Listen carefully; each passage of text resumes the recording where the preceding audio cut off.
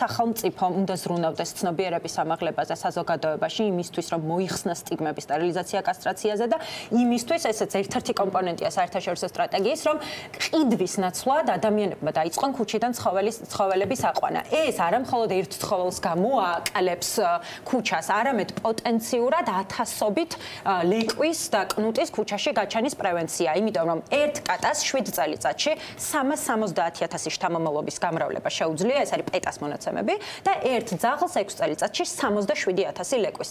ეხლა დაითვალეთ.